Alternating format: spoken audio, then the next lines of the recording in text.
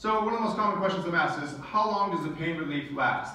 Uh, and that depends on the patient and the condition. But what I can say is it used to take me three times a week for three, four weeks to get somebody better with like a grade one rotator cuff strain, like a mild rotator cuff strain. And now it takes me three visits with instant pain relief each visit. It immediately relieves the pain, it comes back, it starts to creep back in. The second visit, again, is much less, and the third visit it's gone. So.